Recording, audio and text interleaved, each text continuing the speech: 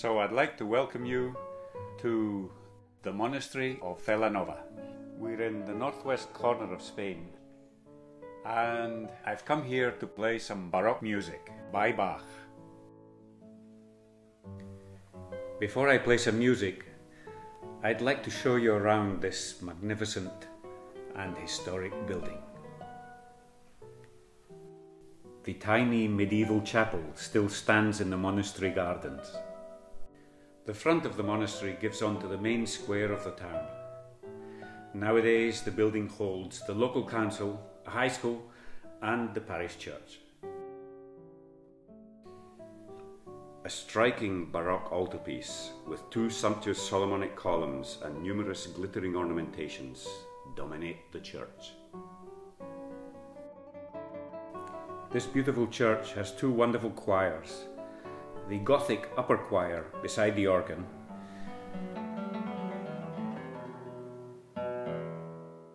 decorated with many curious images, among them this Piper monk.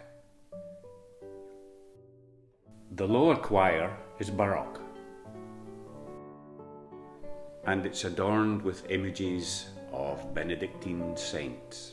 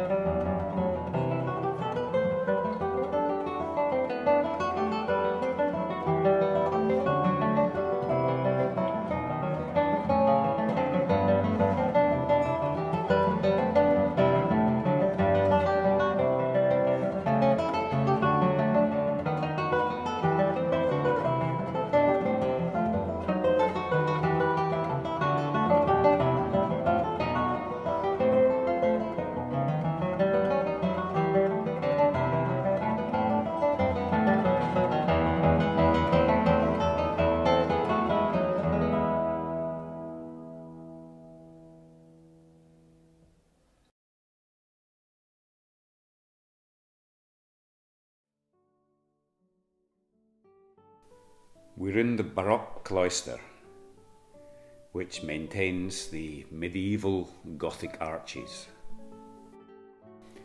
The original constructions date from the 10th century. So we're now in the cloister of the monastery of Celanova. And there go the bells, telling us the time every quarter of an hour. This building has gone through many different transformations.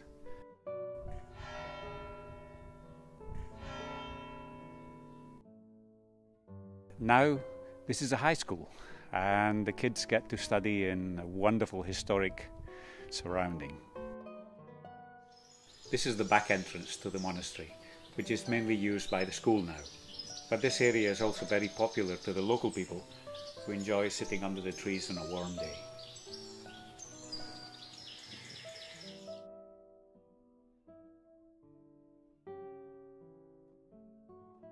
I am now in the Polledo. The Polledo is a balcony which runs completely round the cloister.